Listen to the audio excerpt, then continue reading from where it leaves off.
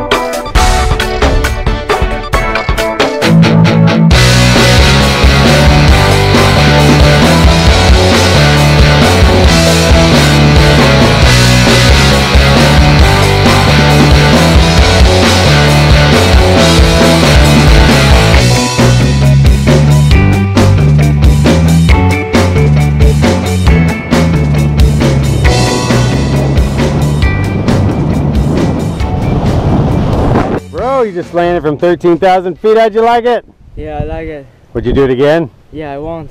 High five. Thanks for jumping with me. See you next